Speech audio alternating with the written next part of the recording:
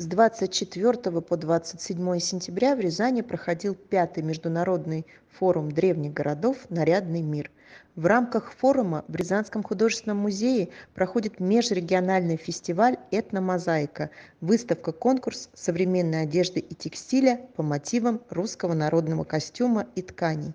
Участниками фестиваля стали представители Санкт-Петербургской государственной художественно-промышленной академии Штиглица, участники Московской государственной художественно-промышленной академии Строганова, колледжа дизайна и декоративного искусства Строганова, Ивановского технологического университета, Высшей школы народного искусства Рязанского филиала, ЗАО «Труженица», город Михайлов Рязанской области и, конечно же, всемирно известный Кадамский Венис. Дорогие друзья, 25 августа в рамках форума древних городов и межрегионального фестиваля «Этномозаика» в Рязанском художественном музее открылась удивительная выставка. Выставка-конкурс современной одежды и текстиля по мотивам русского народного костюма и тканей. Это праздник. Это праздник для любителей и ценителей народного искусства. Эта выставка работает на двух площадках. Рязанский художественный музей, улица Свободы, 57, и выставочный зал на улице Есенина, 112. Эту прекрасную экспозицию гости и жители нашего города могут посетить в музее по 7 сентября. В выставочном зале экспозиция продолжит свою работу по 13 сентября, так что приходите, будет очень интересно.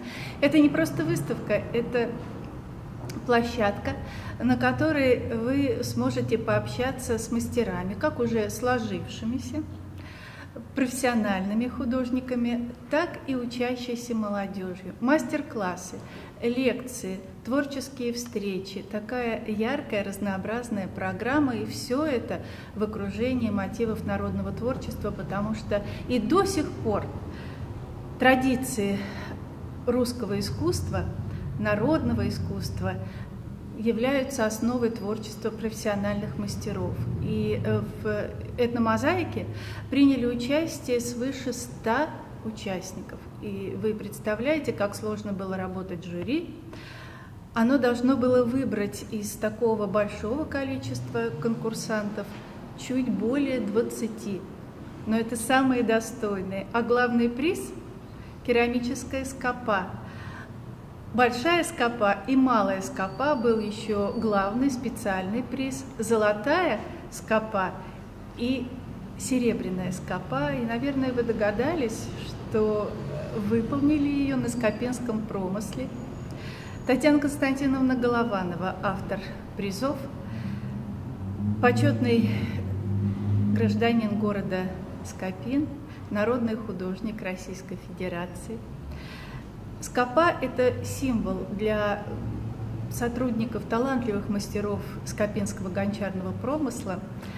Она является олицетворением возрождения традиций народного искусства.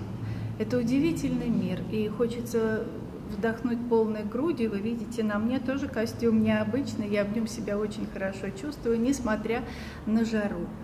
Традиции народного искусства. Как это нужно нам сейчас? Приходите, друзья. Это очень интересно, тепло и уютно.